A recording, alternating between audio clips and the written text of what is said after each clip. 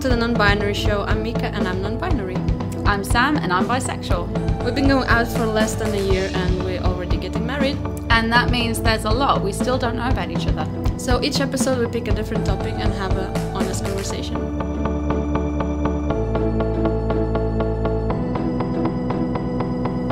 Today, letting children see queer people.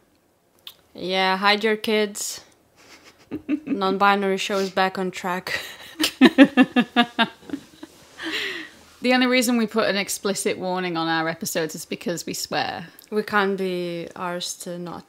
that would be a lot of cutting for you. yeah, so did you want to start the thing or do you want to just talk about it in general Uh, first?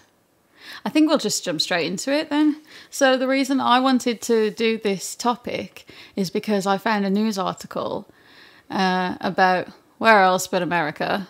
Uh, the school district in Utah has suspended their entire literacy program after a child brought in a trans positive children's book into school and they wanted their teacher to read it to the class.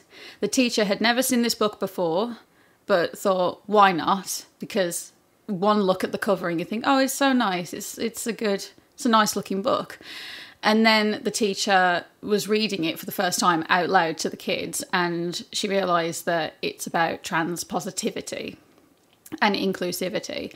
And she didn't want to answer any of the kids' questions about what it means to be trans, what is gender, what is sex. Some of the kids were asking what puberty was, and she didn't want to answer those questions either because these kids are very small. Yeah. And the entire district in the state. They thought the, the best solution was to just get rid of the entire literacy program altogether.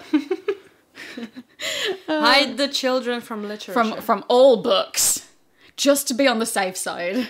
District spokesperson Doug Perry told AP that they are not cancelling the program but are pausing it to review every book on their list to ensure that similar concerns are not brought up again.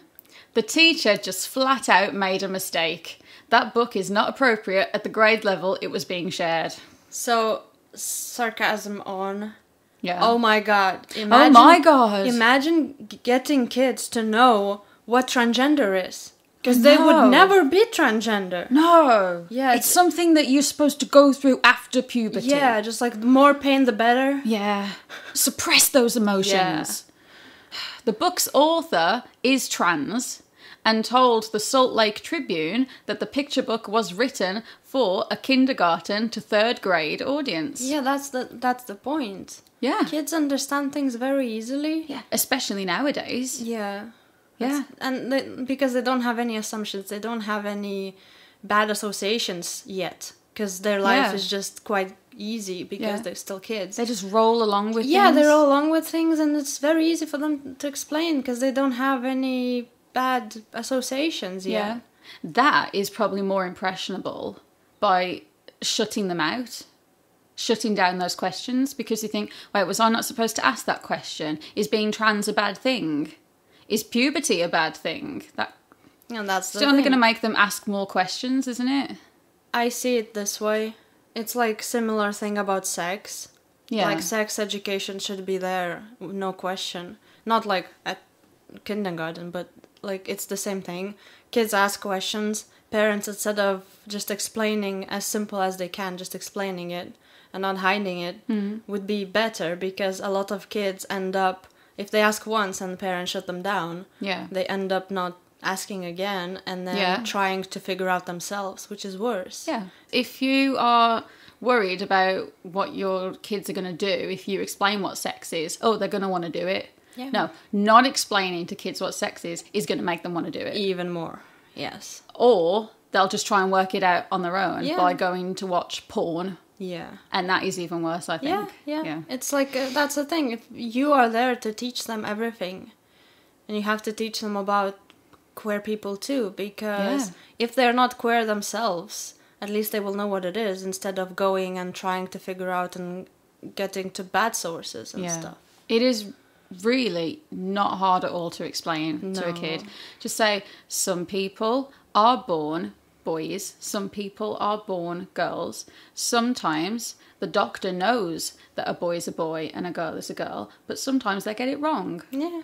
How simple is that? Exactly, and they a kid can just say okay and run along. Yes, because they don't have that question as like, oh, what? Why do they have to identify differently? Like they don't, they, they don't have that uh, that yet. Yeah. Can I read one last little bit that the Yeah. author said in this interview? I find in my experience that adults think that term unlocks a lot of confusion in children when it really doesn't. One girl asked me what transgender meant, and I explained, and she just said, okay, and, mo- and moved on. It's only a problem if you think that being transgender is itself wrong, and it's not. That's something the parent then has to work through. Well, that's the thing. Assumptions. Yeah. because you if you are hate if you hate lgbt you see someone acting queer you see that someone might be transgender and you immediately have bad thoughts about it and you just want to debunk all of their existence Yeah. just because you hate for no Mm-hmm. reason really kids don't have that yet No. yeah and that is good and that is the exact time when you have to tell them things Yeah. So I googled the book that this teacher read to the class, and the description on Goodreads. It sounds so wholesome and pure, and there is nothing wrong with having this kind of book in the world. yeah It's called Call Me Max, and the author's name, I don't think I mentioned the author's name before. no i don't think so Okay, so the author's name is Kyle Lukoff, if you're interested. And I believe he also does some of the illustrations. Okay, Yeah. so when Max starts school, the teacher hesitates to call out the name on the attendance sheet. Something doesn't seem to fit. Max lets her know the name he wants to be called by a boy's name. This begins Max's journey as he makes new friends and reveals his feelings about his identity to his parents. Written with warmth and sensitivity by trans writer Kyle Lukoff, this book is a sweet and age appropriate introdu- introduction to what it means to be trans. Yeah, it's it's very good to know that these books exist for kids. Yeah. Back in my day. Mm. So I'm from Lithuania if someone doesn't know yet, and in Lithuania LGBT topics are really a taboo. And only recently articles started to come out about more and more people like revealing who they are and stuff. And it's not just most of them are positive. There was recently an article released by a priest. So you can imagine how Oh. negative it was. Yeah. But again, everyone just most people don't care about him because mm, who, what can like he doesn't know anything, and some people just say that he might be, you know, confused. Gražulis number two. uh, yeah. So when I was growing up, these topics were never defined.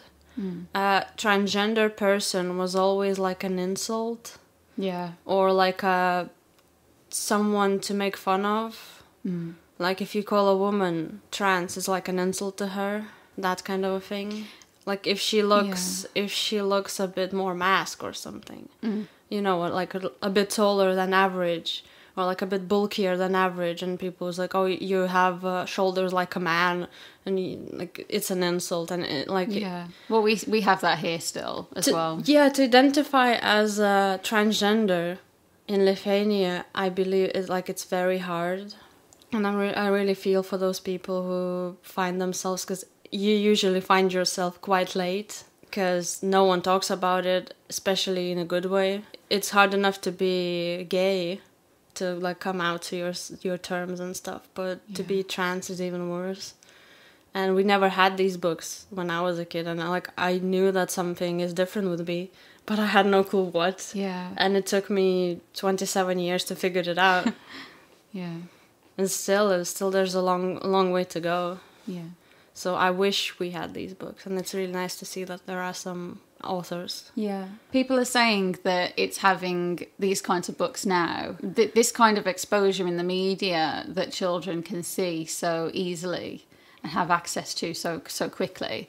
People are saying that kids are coming out younger and younger by the day And like that's where you see a five year old thinking they're trans and these books are to blame because they're aimed at children their age. Again, because we have this concept of gendered product, gendered clothing, gendered almost everything, it's really hard for kids. Yeah. Like if a boy likes dolls and pink color and like more girly stuff, Yeah. quote unquote girly, uh, it's normal he might be confused at this point because if he still wants to be a boy but he likes girly stuff in his brain because his brain is still thinking in simple ways Yeah. you this or that and he thinks i like girly things so am i a girl then because his parents Yeah. kept telling him this is girls pl- uh, toys this is girls color that's just th- themselves to blame like the parents to blame Or it's the system to blame. Or the because system. having all the quote girly stuff in one section of the toy shop and all the boy stuff on the other side. yeah Like you you're just you, you feel lost. And I- I'm thinking about my nephew now. My nephew loves Peppa Pig, yeah but all the Peppa Pig stuff is in the girl section. yeah that i don't Because I don't Peppa's a girl. but it's it's a cartoon I know. they are pigs yeah that that's the point i think that's we need to change the binary first and not Yeah. just for non-binary people yeah. for everyone because then trans people would feel safer cis people who not don't like the traditional stuff like boys boys stuff and girls girls stuff Yeah. it like it's normal they feel some some cis people go through doubts and stuff and then they realize like no i'm just gay or something but it's Yeah. like it's not cool and it's good that we going slowly but we're going through that Yeah. yeah I, i've seen a lot of non-binary kids like uh, parents talking about their kids being non-binary like quite young as well Yeah. i don't think there's any harm in dressing them like neutral clothes if they ask to because the thing is if in the future they feel that they after all are non not non-binary or not trans they could just start doing whatever they want to do identify as whatever like there's it's not a harmless it's not a harmful thing it's not like they're gonna because you don't give hormones to kids no. puberty stoppers they don't uh, affect you for life Yeah. It just delays the process. yeah delays the process. it doesn't stop it from working. And they also don't put children on puberty blockers until puberty has started for them. yeah and you have therapists to help Yes. to identify that it's actually what they want to be not just uh, not like they confuse that terms and stuff Yeah. because of course uh, kids they still need uh, to learn a lot Hmm. and it's normal to think that they might be confused and i'm sure there are a lot of kids who get confused because it's it's hard to It know hard to things know, yeah, yeah. for a kid for us it's hard to know sometimes for a kid it's even worse I only worked it out like three months ago. yeah Yeah. The gender identity clinic in this country, there is still a two year rule before you can apply for puberty blockers and things like that. I, I believe it. I might be wrong still because I've not looked that much into it. I could still be wrong. But that basically says to me, sorry, you've got to be confused for two years before you can come to us. i mean i kind of understand the concern and stuff I know. But yeah, two years I feel like it's a bit too long because if if someone has a really bad dysphoria, it might affect their mental health so badly that you might mm. not be able to see them after those two mm. years. Like it's it's not a game. and then there's still a waiting list. Yeah, So it's even more than two years before you actually get help. yeah, it's It's, it's, ridiculous. Yeah. I um told you about a school. Um, I'm in a lot of uh, teacher WhatsApp groups. Um, they're all LGBT oriented, uh, and there's a teacher that shared his new school's uh, uniform policy. They have got rid of the binary. They have a gender neutral uniform uh, description now, and that basically means that boys can wear skirts if they want to, and that and I think that's great as well. Story time. So when I was in school, Oh, we had a uniform, of course, yeah. and we were allowed to wear uh, trou- like black trousers on normal days. Yeah. But when there's like a celebrational day, like a bank holiday day, like something uh, to honor our freedom or something like that, Yeah, I know, stupid. And there's like a well, something something uh, exceptional happening that day Yeah. in the school. You had to wear a dress. You had to wear a skirt. skirt. Yeah, so like white white shirts, uh, a blazer, and a skirt. On the normal day, you can wear anything underneath and the blazer, and then like trousers, like black trousers. Mm-hmm. But on that day, you had to be like very dressed up, Yeah. and it, it always gave me huge dysphoria, and I never understood what's the difference. I can put like women who wear pantsuits are very femme sometimes Yeah. if they choose to be. And it's like I never see a woman who wants to be femme in a pantsuit not looking like one. Because they are made for you to like to look femme. Because you can choose you can choose like how do you want it done. if if a pantsuit wasn't designed to be feminine, they wouldn't put them in the women's section. yeah. You would have to go to the men's section to look smart. Yeah, so to have uh, like classical tr- we call them in Lithuania we call them like classical trousers. Right. They just like straight and like what what you have to wear to to school, yeah, that kind of a thing. So having that a nice white shirt underneath and having a blazer, I was always like what is the problem about me wearing that Yeah. instead of a skirt when it looks very sharp, smart and it's like it's uh, tidy because they want you to know that you have a vagina between your legs. It's like, go back to your place.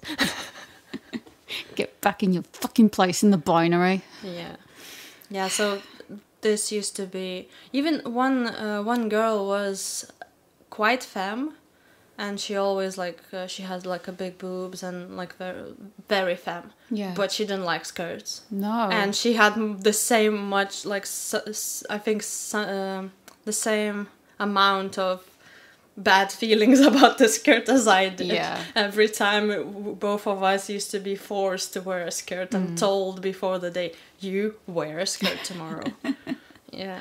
it's ridiculous. Isn't It it is ridiculous. It's just a piece of clothing. Tell tell your uh, kids to wear some like just dress up smart, skirts, shorts, or uh, but as long as they're like not training shorts and- and training bottoms, you'll be good. Oh, like uh, sports. Yeah, like with a- the with the three stripes. Yeah, you like that bit, don't you? With the three stripes. I, I have that kind of a trouser. Don't you have two pairs?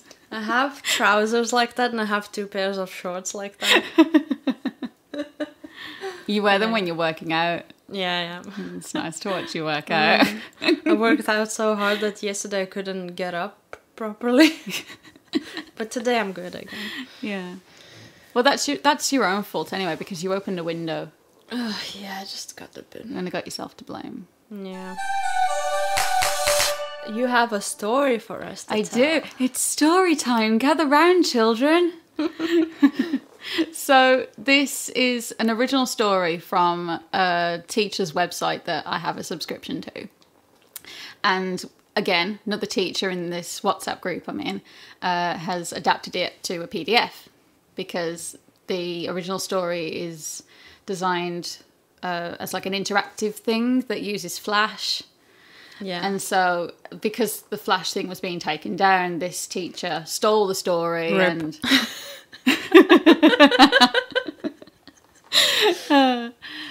so, this teacher adapted the story, and now I can read it for you. Nice. It is called Part of the Party. It is by a woman called Chloe Gillie. You've not read this before, you've never heard of this story. No, I I've, I've seen. I'm Okay. seeing it for the first time, and those koalas are very cute. Okay, so all the all the quote people in this book are animals. Okay, uh, Well, just like I like them, yes. not in a bad way. So are you ready? Yeah. Part of the party.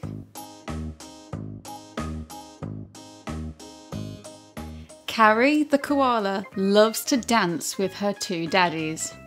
One morning, a special leaflet arrived. Mayor Emu of Sunny Springs invites you to a mummy and daughter disco to celebrate the love between mummies and daughters. Bring your mummy along for a boogie and show them how much you care. Carrie was excited there was going to be a disco in town. The disco was for mummies and daughters. Carrie felt so sad. She didn't have a mummy in her family. She might miss the disco. I'm sure you can go, said Daddy. Ask your friends what they will do. So Carrie went next door to see her friend Katie Kangaroo. Katie lived with her grandma, the best dancer in town. This kangaroo has leg warmers and wristbands. Dumbles and like doing a She's doing like a workout video on the TV. I love it.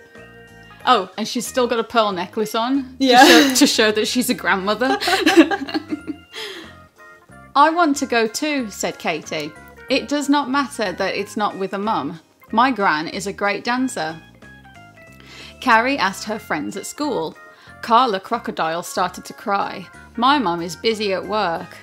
My big sister can't take me, she sniffed. It says mummies. That night, Carrie went to bed feeling cross. The leaflet had upset her friends and made them feel unwelcome. The next day, Carrie called a meeting for everyone who felt left out of the disco. Everyone met at the lake. Carrie was surprised. Lots of her friends felt left out and upset. The platypus twins loved to dance. It's only for daughters, moaned Pablo. What about everyone else? Wanda the wombat lived with her daddy. They were a happy little family, and her dad loves dancing. Deborah Dingo said, I have two mummies. Am I only allowed to take one of them? Kiki the kookaburra was adopted by Galahs and had a huge, big, noisy family who will all come. Carrie knew all of her friends and their families should be at the disco. She told her dad, and together they wrote a letter. They posted the letter to the Mayor Emu. A few days later, a letter came back from the Mayor Emu's office. Mayor Emu of Sunny Springs invites you to Family Disco to celebrate love. Bring your whole family along for a boogie to show them how much you care. The mayor was sorry he had made them feel unwelcome and had made a new leaflet Family Disco to celebrate love, all welcome to dance. Carrie, Dad, and Daddy chose their outfits and practiced dance moves. That night, the town was lit up with disco lights and everyone was smiling and dancing. It was the best disco ever. Everyone was welcome. Carrie danced all night and felt happy with all of her friends and their different families. The end.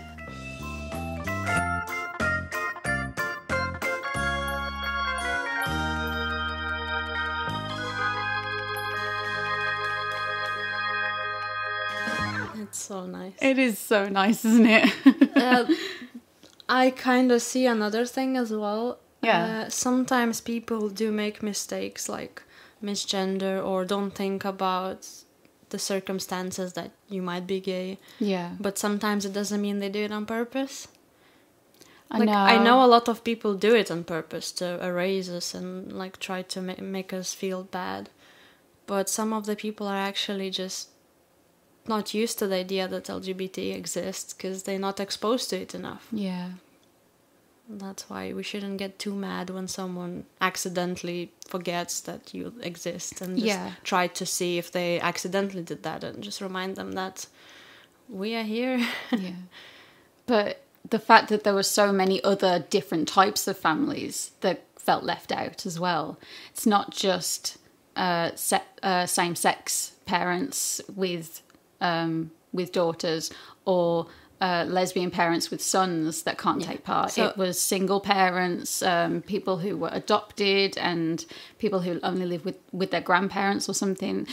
People can feel left out by that unintentionally as well. Yeah, so we have a lot of we- we hear a lot around like uh, traditional family values and man and woman only can have a kid and stuff. How many single mothers are out there? How many single fathers are out there? How many single grandparents are out there? Yeah. Things happen, and gays and like LGBT is the least of their problems Yeah. because like everyone has some everyone has different circumstances you can't make every family to be as the same Yeah. It's like no no family is the same, even if it's looks the same. It's not. Someone's mom was busy at work. Yeah. I mean, the leaflet may as well have said unemployed moms. Yeah. I don't know why it's called a nuclear family, but the idea that you have to have the, the perfect family should be a husband, a wife, and children. Yeah. I don't know why it's called a nuclear family. Never heard that term. I did sociology Okay. for a year and then I failed, Whoops. but that but I still remember that. Yeah. I think I could remember the guy who first called it a nuclear family. Yeah. I think his name was Tony Parsons. Why nuclear family? That's that's my question. you- I just don't know. You never got the answer. No, and I don't think I ever had to Google it. Okay. You just had to remember what it was called. Okay. But I failed the exam anyway. More like toxic family. I'm joking. Even if you have a husband or wife, or like you are the nuclear family concept, Yeah. you are still great. Oh yeah, we're not saying there's anything wrong with those kinds Just of don't be a jerk. You're just not the only. You're just not the only kind of family. No, and just don't be a jerk to other families. Yeah, love is love. Love is love. Uh, this was in the news uh, last week as well. I've been holding off on this topic for this for this episode. So I told you about a show that I grew up with called The Story of Tracy Beaker. Mm-hmm. It was a series of books written by Jacqueline Wilson. She came out as gay last year, and apparently she had wanted to come out as gay for ages, and she wasn't allowed to because of something called Section 28. I've wanted to talk about Section 28 for ages Yeah. on the podcast. I'm going to go on a bit of a rant now, people. Oh, ready. Margaret Thatcher brought in Section 28 in the 80s. If you've watched It's a Sin, the character Ash mentioned it, and that his first day in his new teaching job, he was told to go through all the books in the library and pick out the ones that promoted homosexuality. This also links in with the nuclear family thing. Margaret Thatcher brought in this thing that the nuclear family setup was the ideal family and Yeah. any other kind of family shouldn't be promoted in schools. If you accidentally mention the idea of being gay in a classroom, a teacher could have been sacked, even though it was an accident, Yeah. right? The problem was it was never addressed properly until 2003.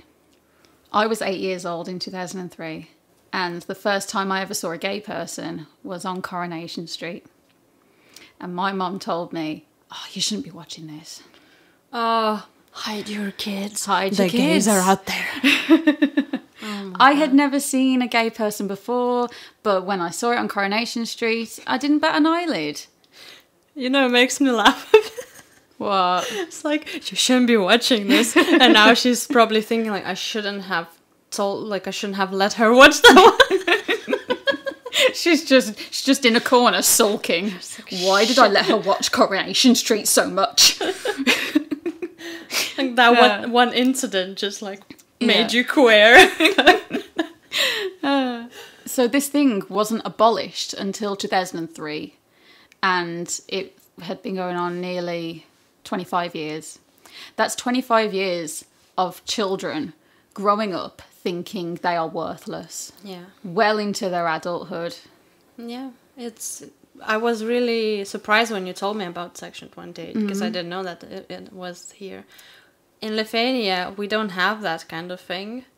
Uh, they didn't think of putting it in because there were no gays out, really. Yeah. no one was out because everyone was already scared, so they didn't put it in.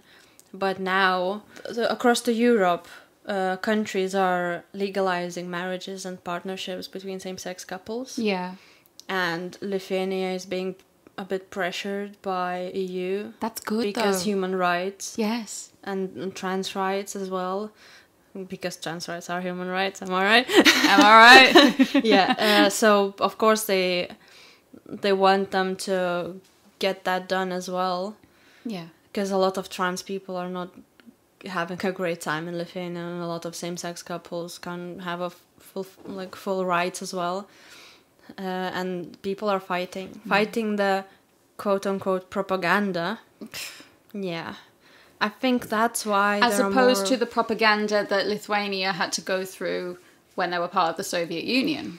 Uh, yeah, it's like uh, when. You know what propaganda is? Yeah. It's when. I'm calling out uh, hypocrisy here. Yeah, it's. Yeah, th- that's the thing. We. Oh, I hope no Lithuanians are listening at this point because they're gonna throw rocks at me. I think. uh, Oh. I think we as a country bring bad things on ourselves. Right. because hating and we are not very kind to each other. I'm not saying all of them. There are a lot of Lithuanians who are good, especially like uh, some of the uh, young generation. They're quite open-minded now, like uh, how because we have internet and stuff. It's Yeah. it's easier, but it's still there are a lot of uh, kids who are raised very badly and abused. And of course, when you get hate and abuse from your parents, you are not happy with yourself and you hate others as well. And uh, I think that's all, all those things in history that happened to Lithuania happened for a reason because we as a community, we're not good. As a whole nation, we are not that good. Yeah. to, we're not kind to each other and don't expect kindness from others when you can't help your neighbor. Mm-hmm. But hopefully it will change because like lgbt articles just coming out every day almost to show people that it's not that bad. It's nothing to be afraid of. It's nothing to hate it's just people being people Yeah. but again it's a long way to go Yeah. Well, it's a good thing you're not there anymore. Yeah, people ask why I emigrated. That's why. Don't want to fight that war. I can fight that war from here if it helps. Uh, someone asked me if I want to be interviewed for a um, for a Lithuanian like a website. They they publish articles about LGBT news and stuff. I can do those things. I can go on someone's YouTube channel and talk about it as long as it helps for other people to uh, come out and understand themselves and stuff. But I'm not gonna go back and stand there to show that I'm here, I'm Lithuanian. I don't have that power anymore. We, you mentioned this the other day. Um, Lithuania doesn't allow you to have dual citizenship. Yeah, so unless something changed, but I'm sure that we're still not allowed to have dual because you have to be a patriot. like be a patriot. You are Lithuanian and nothing like else. be a patriot or fuck off. So I fucked off. well, you, you said uh, I asked you the other day, would you ever um, get a British citizenship? And you said, yeah, but I'd have to give up my Lithuanian one. we drift off of the topic so bad. We have drifted off way off. Maybe we should stop then. Okay, I've barely spoken about this. Yeah, so I explained a bit about Section 28, Yeah. and I was I kind of backtracked a bit because I ended up I started talking about this book yeah. and this author. Jacqueline Wilson was in the closet for a long time and she couldn't come out in the 90s when she wrote these books because then her books would be banned from school libraries and she wanted children to read her books. So she, if she had come out in the 90s then she would be isolating herself. Okay? It has come out that she wanted her she wanted one of these characters in the books to come out as gay and marry a woman and the TV version of Tracy Beaker way back when I was a kid this woman married a man in, on the TV show this new version a sequel about Tracy Beaker's daughter this woman has finally been able to marry a woman on the show Yeah, that's that's good. Yeah. That's so good. Yeah, as the final episode of My Mum Tracy Beaker premiered on Friday, 12th of February, loyal fans were delighted to see Cam finally confirmed as a lesbian and happily married to a woman named Mary. It was the happy ending we've all been waiting for. So did it premiere like on on the TV or on the catch up? I guess it you can still guess premiere it- things on the catch up too. Yeah, I know. Like what I said about Drag Race. If enough people have watched it on catch up, then they'll decide to air it on TV. Yeah. Yeah. Only when it's been confirmed that people are interested in something. Yeah. And then we just got a load of tweets about it now. It's a Sin usurped as the best queer television of 2021 by Cam and Mary's lesbian wedding in My Mom Tracy Beaker. We've had both Jojo Siwa and Cam from Tracy Beaker come out this year. This is the start of a gay revolution. Yeah, hide your kids. Gays are coming. Mm. I should stop saying that. Actually, people. Yeah, you should. people have been attacking Jojo Siwa as well. She's done nothing wrong. She's in love. Leave her alone. She. It's not like she didn't do anything wrong. She did a lot of great by coming, being brave and coming out, and probably losing a lot of her views Yeah. because Karens told her, uh, their children to stop watching it because oh my god, she's a lesbian. Yeah. Yeah, but she's I, I like I never watched her videos, and like I, know, I know she's for she's more like a for kids audience. Yeah. And It's she's very loud. It's very much for kids. She's very loud. She's very ex- expressive. Yeah, she wears a all over the place. She wears a lot of sequins and glitter and rainbows and Bows. everything. Bows. And her hair, I think that's uh, my favorite part in her. Just bows. Oh, the, the bow collection. She's definitely on acid. she's so excited about everything. But it's good. It's good for to show for the kids that you need to be excited to to everything. Like I know sometimes Yeah. it's too too much, but that's how kids' attention works. Yeah. You just have to be all over the place all the time, and I understand that it's not for me. It's for kids. Yeah. And by coming out, it's really brave, and it like I, I was genuinely proud for her, even though I don't know her at all. Yeah. Like I've seen just few snippets of her videos. I don't even know how old she is. Uh, Is she like 17? Yeah, something like that. I yeah. would think. She's a dancer. Yeah. So I understand all the sequins and stuff. yeah. But now she's she's got this platform now. I think that's what I like about her because she's different. She's very sparkly and uh, colorful and like all that, and she's gay. Yeah. That debunks the fact that all lesbians are butch, Mm. because that's like some people think that. Yeah. yeah, it is true. A lot of lesbians are butch, but there are a lot of femme lesbians as well. But you just don't know it because they look very feminine. You know, they- They look quote unquote straight, Straight. and they're pissed off about that. That people tell them, "Oh, you don't look gay. Stop saying that." Mm, it's like femme non-binaries as well.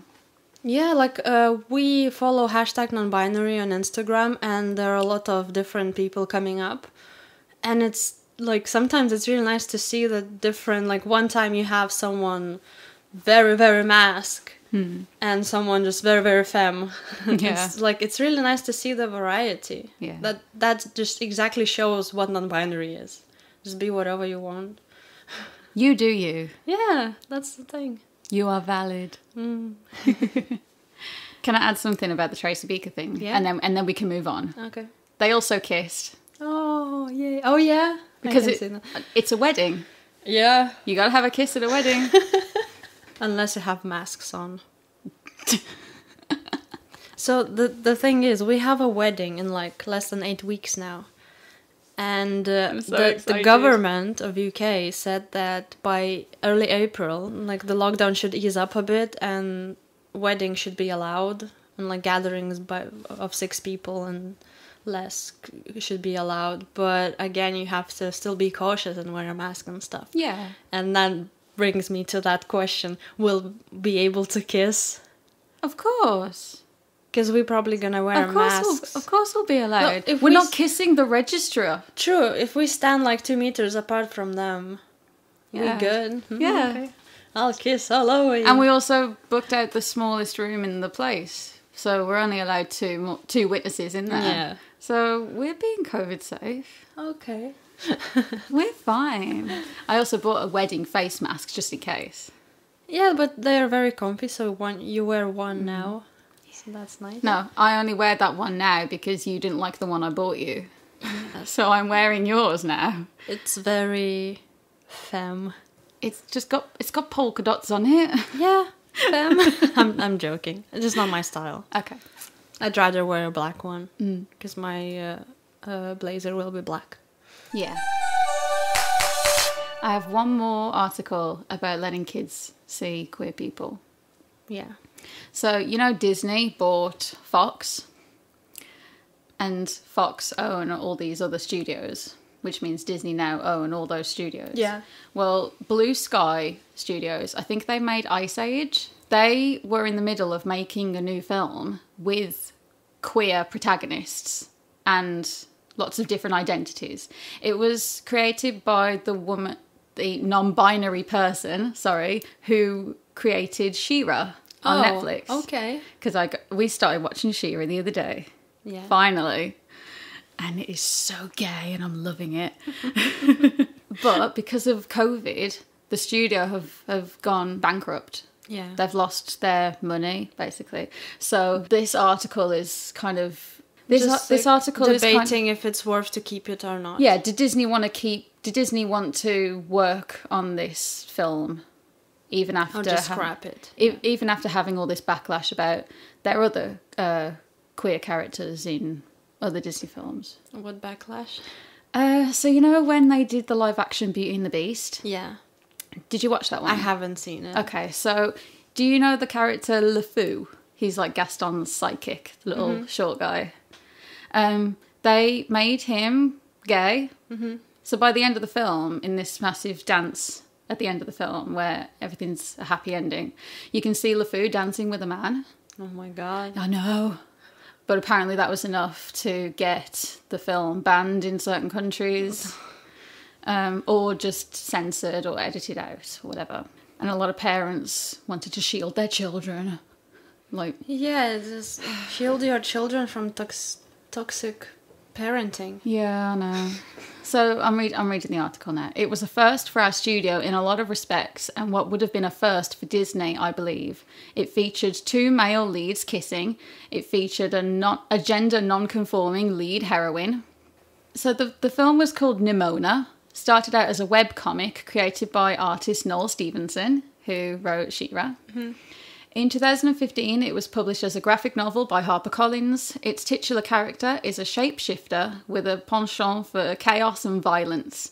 She teams up with villain Lord Ballister Blackheart to go after Sir Ambrosius Goldenloin, the supposed hero. In the series, Blackheart and Goldenloin have a romantic history, and the film adaptation was going to make that clear, including an I love you scene.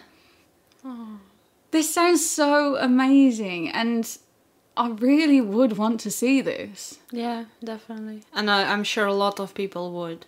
Yeah. I told you something else that Disney did. I showed you something on Disney Plus, a little short film about a guy who was moving in with his boyfriend and then got possessed by a dog to try and teach him a lesson that he had to come out. Yeah. Come out to his parents before Yeah. moving in with his boyfriend. It was really sweet. And I cried the first time I saw it because, oh my god, Disney are getting somewhere finally. Yeah, it it is very nice, very beautiful. Yeah. And again, people were unhappy with it. Oh, there's a tweet here by Noelle Stevenson. Got to see some recent reels and art from Nimona today. Absolutely blew me away, and I'm so heartbroken you won't be able to see it. Blue Sky was making something really special. So Disney is not making it. In a statement, a spokesperson said, Given the current economic realities, after much consideration and evaluation, we have made the difficult decision to close filmmaking operations at Blue Sky Studios. I think that is their long winded way of saying no. Oh, okay. Not there yet. I don't think they're there yet. They're doing it slowly. Hmm. I think they are thinking it's too much for them to show at once, maybe. So it says that uh, film was about 75% complete. With an estimated 10 months of work to go. Yeah. Let's blame COVID for this. Oh, another Blue Skies employee who worked on Nimona said there's no clear connection between the film's content and the studio's closure, but they're not sure that Di- they had Disney's full support. For example, they said Disney hadn't spoken publicly about Nimona as they had for other upcoming releases. Yes. They don't want to piss off Karens Yeah. and all people who would hate. But the truth is, I, I kind of believe that we're 50 50 here now. Like, 50% of people might not agree with it, but 50% of people would be happy to see it. Yeah. it we're not a minority anymore because we have some allies as well. Like, Yeah. we have people who actually don't think it's bad anymore and who understands and stuff. yeah. So, hopefully, in the future, we'll get more people to support. Yeah. I personally didn't see the support from Disney, they said. I don't think that Disney would be enticed to make it personally. They don't have a great track record of making queer inclusive media. Like their colleague, the employee said the team really felt they were making something groundbreaking and are frustrated that it may never be seen. Aside from the queer themes, they said the studio was using advanced technical production techniques and the final product could have easily won an Oscar. Oh wow. It would have been huge, and it's just devastating that it's not out there, they said. If enough people are angry, maybe the studio will have some incentive to make this wonderful movie. That would be great. So if you want to see this, email Disney and Yeah. say, "Make this movie because I'm getting mad." I hate to I hate to like be a like a Debbie Downer or something, but Disney have probably already thrown out the film. I don't think they do that though. Just in case, Oh, just in case. throw everything, burn everything, just in case people start getting mad and want to. Is that like when all the fans of Brooklyn Nine Nine brought the show back after one day? Mm.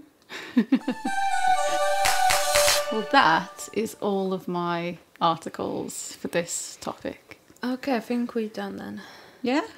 If you know of any more uh, instances where people haven't wanted children to see queer things, please get in touch. Or if you have a story about children seeing queer things and having no problem with it, please get in touch as well. We want to hear your stories. Yeah, Yeah? Is that a nice sign off? yeah. Okay, let's end this. Thanks for listening to this episode of the Non-Binary Show.